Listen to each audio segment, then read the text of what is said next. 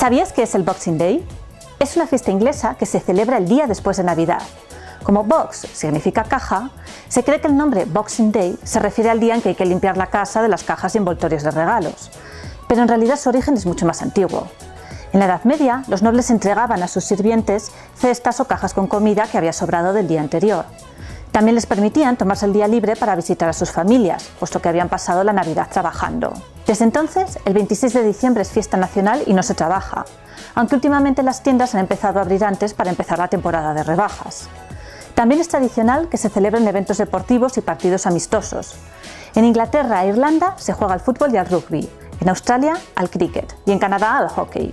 También es el día en que se celebra la carrera de caballos del rey Jorge VI. Pero la práctica más interesante es la de los países africanos de habla inglesa, como Ghana, Uganda y Tanzania. Allí, el Boxing Day se celebra con un torneo de boxeo.